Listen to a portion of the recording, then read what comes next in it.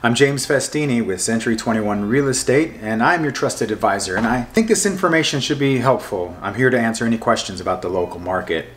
Let's take a look at residential real estate activity in the area of Yorba Linda during the month of June and July.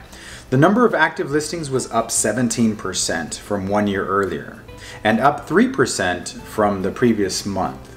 As you can see, the median listing price for the month was just over $1.2 million.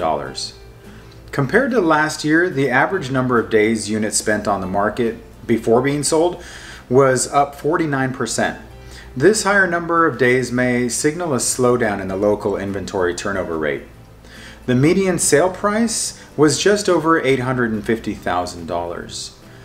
Now, the number of units sold increased 53% year over year and increased 17% month over month. These figures may indicate that buyers have been taking advantage of opportunities in this market. Now, I want to thank you for watching. I hope you found this video helpful as you gather information to make smart, informed real estate decisions. If you want more information or assistance, please give me a call. I'm at 714 767 5524. Thank you.